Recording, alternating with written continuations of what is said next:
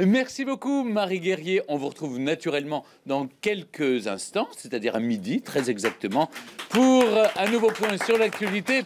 Et nous, eh bien, en présence de nos deux invités que je vais vous présenter dans un instant, Camille Chamou. Bonjour Camille. Bonjour.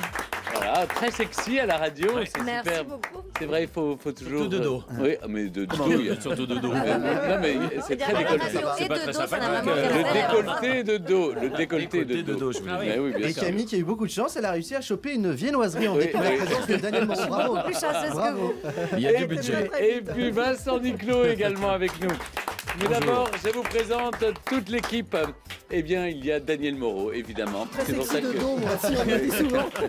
Oui, Mais vous êtes belle vue de dot. Oui, ah, oh, même pas, même pas. Alors. Même, ah bon Eh. Bah, Avec toutes les viennoiseries que vous récoltez ici, que vous revendez après Ah la oui, ma sauvette.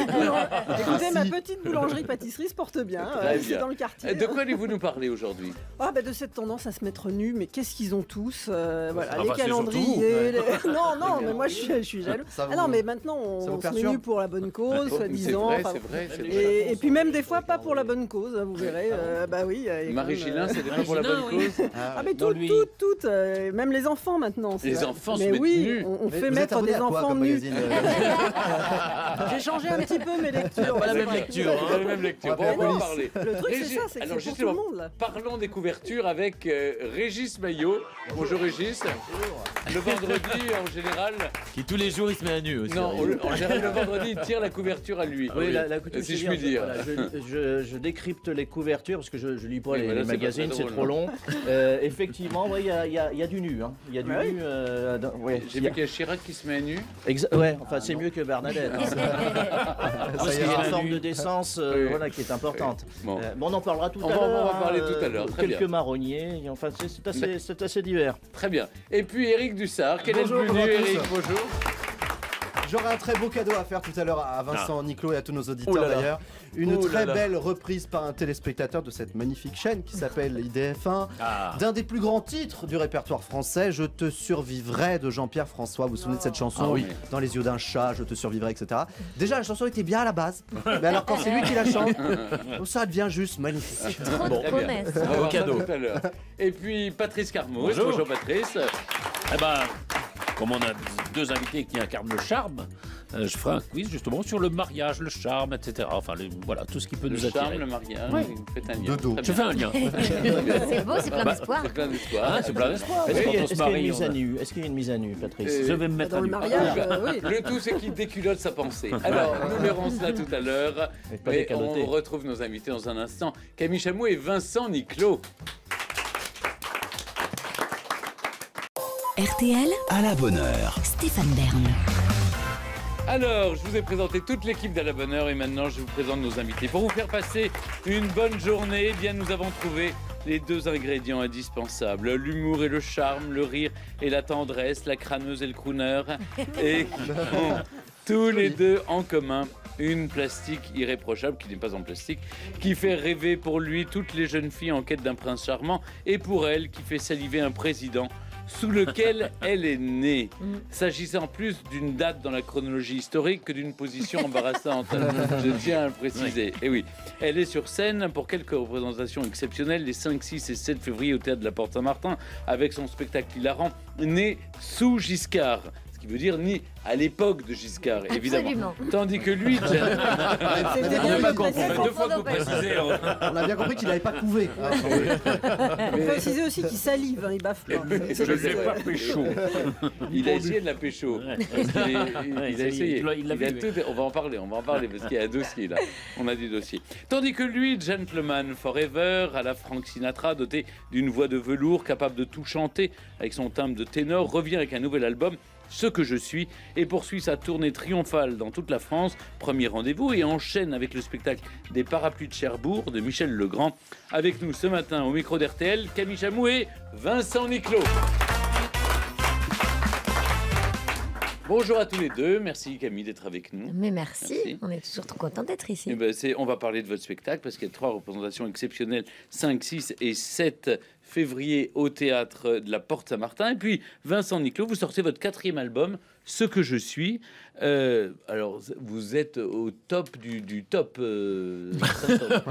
Les albums qui se vendent sont les vôtres. hein. Oh. Ça vous Bah fait plaisir, oui, j'imagine. je- ça me fait très plaisir. J'ai cette chance en ce moment. Ça n'a pas toujours été le cas. hein, donc, euh, Oui, je parce que nous, on a le sentiment que c'est allé très vite dans votre Oui. carrière, que tout oui, arrive. c'est là. euh, oui, Il y a une accélération en fait. Oui. Il y a une Ouais. accélération, mais c'est vrai que je, fais, euh, je vis de la musique depuis euh, de nombreuses années. En fait, j'ai enchaîné les spectacles, des comédies musicales, je suis passé à l'opéra. Voilà, c'est vrai que depuis euh, trois ans, je suis euh, dans, sur une rampe de, voilà, de lancement, Oui, vraiment on voit dans la vous, lumière. on entend que vous. Oui, c'est un reproche. non, non, pas du tout. Non, non, non, pas du tout. Moi, j'avais craqué Non, pour non. Vincent dans Red Butler. Oui, c'est vrai. J'ai eu Ah la oui. chance de Ah, faire voilà. des, des premiers rôles dans Ouais. des super beaux spectacles. Et là, c'est vrai que le public Mm. me suit encore sur, ce, sur cet album, puisqu'on est déjà à 150 000 exemplaires aujourd'hui. C'est Oui, Mais comment on c'est ça justement cet effet d'emballement? Parce que vous rencontrez sans doute des gens qui hier étaient peut-être un peu plus réservés et Oui. qui aujourd'hui, devant votre succès, bah, ont envie euh, eux Je aussi crois de que c'est moi. promouvoir. euh, je crois que je suis plus en. Je sais pas, j'ai eu peut-être quelque chose qui s'est débloqué. J'ai l'impression que dans ma voix, il y a quelque chose qui passe, qui passait pas avant. Ah ouais Je pense que c'est ça, oui. Ah je pense. bon? Parce que la voix est la même. Vous avez chanté La avec les est de l'armée la- rouge, vous avez chanté. Oui, euh, bah, avec les cœurs de la mer rouge, ça a été vraiment mon tremplin. Ah C'est oui. ça Oui. qui m'a vraiment Ah oui. lancé au grand Ça, j'ai public. toujours dit, faut faire l'armée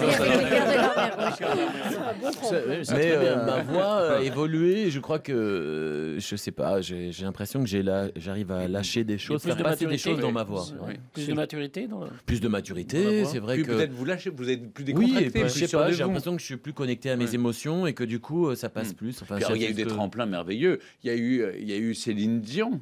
Céline Dion, c'est la Non, mais- non, mais- C'est pas ça, vous faites la d'abord première- l'armée rouge. Il est Pas le grand écart. Ouais, bah, elle y arrive, elle y arrive. Je sais pas vous, mais elle, elle y arrive. Alors, fais attention au Euh, vous avez quand même fait la première partie de Céline Dion, Vincent. Oui, non, il faut, il faut savoir. Euh, J'ai eu la chance de, de- pour son grand retour à la télé, j'ai chanté All by Myself Ouais. devant elle. Mhm.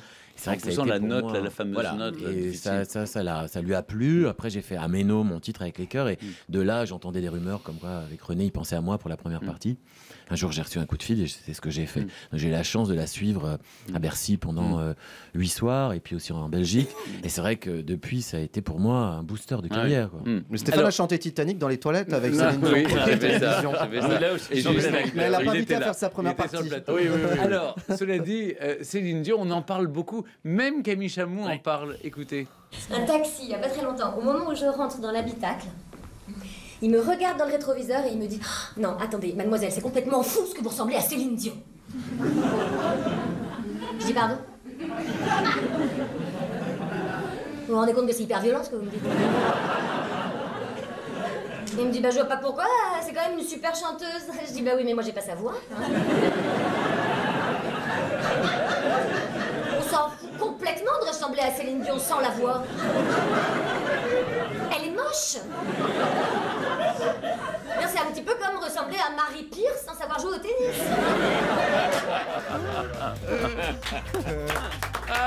Ah, mais c'est vrai. C'est vrai. vrai. C'est vrai. Et Céline a beaucoup changé. Oui, Ah oui, oui. c'est vrai. Bah, elle. Elle raison. extrêmement bien. Oui. Tout dépend Elle se transforme. Ah oui, oui, elle se Ah, transforme avec le bénéfice Oui, de l'âge. C'est vrai qu'à De 17 ans. l'âge et de euh, l'argent. Ah oui, elle était- Ah mais c'est assez génial, c'est-à-dire qu'en vrai cette femme aujourd'hui, elle Elle est très vraiment belle. Elle est très magnifique, belle. très belle, elle est que- magnifique. Sur les photos en plus, alors là, elle s'embellit, Ah bah alors c'est- incroyable. hein. Oui, c'est comme Hillary Clinton, c'est un peu pareil. Oui, mais il y a eu moins de, Ouais, retouches. euh, Hillary sur Clinton, Mais surtout. Au-delà de la beauté, parce qu'il n'y a pas que la beauté Oui, dans la vie, c'est a le charisme. l'énergie. Ouais. Elle a- elle a- quand on la rencontre, il y a quelque chose, il y a une aura, il y a vraiment un truc qui se Ah, dégage d'elle. Non, mais c'est vrai. Puis c'est Et la une voix. grande- Moi, je trouve la Et voix qui- et c'est une professionnelle comme j'ai Ah jamais bah oui, bah ça, voilà, c'est aussi pour ça qu'elle en est là. Elle a, du Mais, goût, elle a euh, du goût pour la déco, hein, quand tu vois ses baraques. Non, mais ça c'était avant, pas- la, la dernière c'est est super. D'accord. Il la défendrait jusque vous. Hein. Elle chante Ah oui, mieux nous, on que est Valérie fans, Damido déjà. elle chante mieux qu'elle décore. Ok, ça vous va? Allez, Eh bien, je vous remercie. ça. C'est une bonne formule. Oh, c'est le moment de jouer. Pourquoi Ah. nous jouons Ah. Nous jouons parce que toute la semaine, RTL vous offre avec la Royal Air Maroc, une merveilleuse compagnie aérienne, et puis l'Office du tourisme du Maroc, eh bien un séjour euh, dans un des hôtels Eriad Naoura Barrière de Marrakech. Et c'est vraiment un endroit extrêmement magnifique. Trois nuits en junior suite de luxe, petit déjeuner continental ou buffet, si vous décidez de descendre, en peignoir, qui est offert aussi par la maison, un dîner pour deux personnes dans le mythique, la mythique brasserie Fouquet's de Marrakech. Et le spa est extraordinaire. On peut manger dans le spa Oui, aussi. Oui, oui, absolument. Eh bien, le vendredi, grignoter. nous cherchons le nom d'une personnalité qui est décédée le 30 janvier Ah, on a changé. 1948. Maintenant, on fait les Oula, dessins. Ça- bascule, concept. c'est plus ça gay. bascule d'un coup là. concept en fait. Oui, bon, en même On va temps. donner la pêche aux gens. C'est ça. Allez. Il s'était né, il était né. C'est une émission le- positive. Il, il- il était né. Ça va, il est Céline Le 2 octobre 1869. Mort dans d'atroces Il douleurs. s'est battu contre l'Angleterre pour l'indépendance de son pays. Ah. Ouais. Mais plutôt que la poudre ou le fusil, son arme principale fut la non-violence Ah bah Oh, oui. bah oui. et la désobéissance civile. Au cinéma, son personnage a été interprété par Ben Kingsley dans un film de Richard Attenborough. Très jolie coupe de cheveux. Oui. Et Euh, Christian, Christian Clavier l'a fait aussi une fois, je crois. Mais une fois seulement. de qui s'agit-il? De qui s'agit-il? Eh bien, téléphonez tout de suite au 3210 ou 74 900 avec le code bonheur en majuscule. À tout de suite. RTL, À la bonne heure. Stéphane Bern.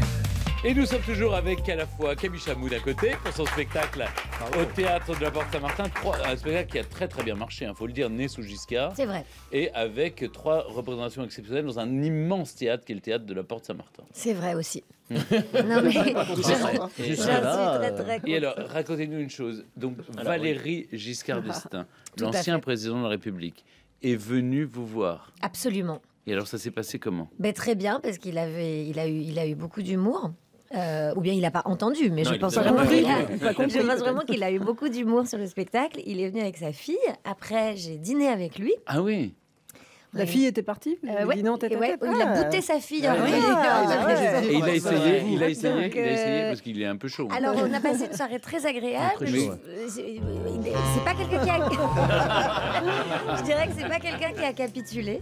Il n'a pas capitulé. Je dirais qu'il n'a globalement pas capitulé, Hmm. mais euh, essayer le, le, le, Bah, le maximum encore, de l'essai. euh, non, il y a eu une petite, euh, il y a eu une main sur un genou, mais c'est Ah, délicat. être, Après euh, Céline Dion, les Didi. Vous pouvez porter plainte, hein. en Mais, revanche, comme quoi, un peu non, en Mais revanche, la main de qui sur le genou de qui C'est ça Je vous laisse Ah, Oui, imaginer. en revanche, En revanche, euh, c'était un dîner incroyable parce qu'il était vraiment bah, ultra vif et bourré d'anecdotes. Ah bah oui. Alors qu'il était quand même après spectacle, euh, minuit euh, et demi. C'est-à-dire que moi, je fatiguais. Mhm. Et lui, il était en pleine Ah forme. bah, les petites Ah ouais. pilules bleues. Et en plus, c'est incroyable, il est bête. et euh, et j'ai trouvé que bah, il avait vraiment beaucoup d'autodérision. Et puis il m'a dit d'ailleurs ce truc assez drôle que finalement l'important c'est pas de parler en bien ou en mal, mais c'est de, parler. Mhm. Et vous lui avez dit, parce que tout le monde n'a pas eu la chance d'avoir des parents comme vous qui étaient inscrits à l'UDF. C'est vrai. Oui, Est-ce que vous, lui avez, Pauvre vous, de vous. vous lui avez raconté, vous lui avez raconté. Ouais, euh, je lui ai dit, mais c'est incroyable, c'est vraiment un aboutissement familial qui se fait par moi. hein, mais bon, euh, c'est vrai que mes parents, c'était c'était leur idole, en fait. Ah oui. Valérie Giscard d'Estaing, vraiment. Donc, euh, enfin, j'aurais jamais pensé, en fait, ce qu'écrire Né sous Giscard euh, m'amènerait à un dîner avec Mais lui. est-ce que vous avez son 06 pour Daniel? Parce que vous avez bien parce que chauffé, moi, là. je peux- ça Elle se dit que m'intéresse, Je vous rappelle qu'il est toujours marié. C'est mais- Ah, C'est lui, il vrai. a oublié. Respectons. c'est- un handicap pour une hein. femme d'être née sous Giscard. Euh, finalement pas. C'est un peu le but euh, du spectacle d'ailleurs, de dire que finalement on est prisonnier d'aucune époque et qu'on est prisonnier euh, de rien du tout. Il n'y a pas de malédiction sur ma génération. Mais, mais en revanche, je pense que je détaille bien dans le début du spectacle Mm. toutes les tares qu'on nous a mis sur la tête et le fait qu'on soit un peu une génération figée qui a un peu du mal à bouger. Oui, vous avez à du mal, oui, c'est- donc on a un peu du mal, il faut Oui. bien s'avouer. là, ça y est, maintenant vous bougez, vous. Voilà. Oui. Je pense qu'il y a. Voilà. On, on met longtemps, Le mais on y arrive. le Vous deuil êtes de un peu le Giscard diesel, long. même si ça va être Le interdit. Giscard. Oui. Franchement, que né sous Hollande, ce sera mieux. non. Bah, c'est un peu toute la question. ouais. Oui, oui. Et c'est- vrai, c'est une bonne question. Ah ouais, je Et pense pour- pas. hein. pourquoi, c'est si dur que ça? Parce que c'était les premières années de crise, c'est ça? Parce que en fait, nous, on est tombé bah, aux premières années, oui, qui marchaient depuis la Oui. guerre. C'est quand même les premières bien, années qui ont commencé à, à- à faire, à faire couler la France, c'est beaucoup dire, mais en tout cas, on était sur une pente un peu moins, un petit peu moins ascendante. Fin des 30 glorieuses. Exactement, c'est la fin des 30 glorieuses. Et en plus, euh, nous, on a grandi, du coup, avec plein de. Pas grand-chose qui se passe, mais plein de menaces. Genre, attention, Ouais. vous allez La bientôt crise, avoir. euh, ouais, vous allez bientôt euh, vouloir euh, rentrer dans le marché du travail. Ouais, la crise est là, ça va être atroce. Attention, vous, allez- vous allez bientôt rentrer dans la vie amoureuse. Ouais. Mais il y a le Sida. sida. Et en fait, nous, on n'était pas la génération qui l'a subi réellement. En vrai, on était déjà très informés quand on est Oui. arrivé dans les sexualités, par exemple pour le sida, ou dans le marché du travail. On était, c'était déjà la crise dans les deux cas, mais c'était la menace. Donc en fait, on est resté chez nous, nous en fait. hein. on a fait, oh, bon, du donc, bah, moi je vais rester dans mon bar du coin hein, ou dans ma chambre. Alors, on a- je vais attendre que ça passe. Pour quoi. bien vous rendre compte de la drôlerie du spectacle, on a un extrait. Sinon, Politiquement, je suis née sous Giscard. Ma guerre, c'est la guerre du Golfe. L'idole de mon adolescence, c'est Patrick Bruel. À l'âge où j'ai eu le droit de regarder la télé librement, j'ai découvert l'humour avec Michel Leb. L'humanitaire avec Kouchner. Le jeu d'actrice avec Valérie Kapriski dans l'année des Méduses. Et la philosophie avec BHL. Je continue ou j'arrête J'ai des bases molles. J'ai des bases molles, c'est vraiment un truc que j'ai pensé depuis très très longtemps. J'ai Ben oui, la première fois qu'on on a stigmatisé euh, ma génération euh, dans les médias, je me souviens que ça existe plus trop ce terme maintenant, mais on disait génération bof. Mm. Et j'étais là, mais c'est atroce. c'est le pire qu'on puisse dire sur quelqu'un. C'est pas qu'il est extrême ou rebelle ou bête ou non, il est bof. Y a C'est rien, affreux. Oui, c'est ça. Donc euh, le but, c'est de redonner les lettres de noblesse à ma génération. Exactement. On va y revenir dans un instant. On va retrouver également Vincent Niclot, que je vous propose d'écouter tout de suite. Bah oui, parce que euh, Vincent Niclot, on a envie d'entendre sa voix aussi. Vincent Niclot, je- si, si, si, si, si, si. Allez, en live de bon matin. Premier extrait de son album Ce que je suis, c'est Jusqu'à l'ivresse. Voilà, c'était Vincent Niclot sur RTL. Ah, c'était bien. Ah oui, Jusqu'à l'ivresse, extrait de son album Ce que je suis. On en entendrait encore un peu plus. Ça y est, je suis un peu ivre là. Ah oui, oui, C'est un oui, peu oui, court. oui. Ça se laisse écouter. Belle hein. ivresse. Alors, on va, on va y revenir dans un instant, mais c'est vrai que euh, Vincent Niclot, ben, c'est. euh, C'est l'ivresse. c'est- Non, puis alors, sur cet album, magnifique chanson. Il y a les meilleurs sont mis. Bah, j'ai eu la chance. Au départ, j'ai vraiment composé, écrit euh, de mon côté. Et puis c'est vrai que le hasard de la vie a fait que il y a des grandes signatures qui sont venues euh, euh, sur ce projet et je m'y attendais pas du tout. Mm. Comme Serge Lama, euh, Lionel Florence. Lionel Florence, Obispo. euh, Obispo, Et euh, vous voilà, Romano. Et Oui, mais en fait, moi Ah, j'ai construit. Vincent Niclot pour la Oui, incroyable. Et je l'ai appelé pendant des mois, il me répondait voulait pas. c'est des mails, il était jamais j'ai là. Et finalement, un jour, il m'a dit Ouais, je vais le faire avec toi. Mais il paraît qu'il a pris la grosse tête. Non, mais ça y est. Il parle de lui à la troisième personne. C'est une horreur. Voilà, c'est ce qu'il y a dans ce nouvel album très réussi. Je vous propose de marquer une petite pause et puis, pour mieux connaître nos invités, il y a les rumeurs du net.